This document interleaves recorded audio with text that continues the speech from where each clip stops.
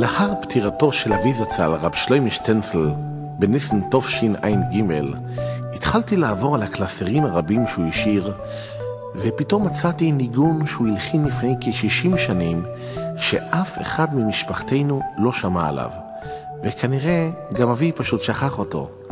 אז החלטתי להקליט אותו ביחד עם מקהלת ויז'ניץ והילד המיוחד יהודי דויטש.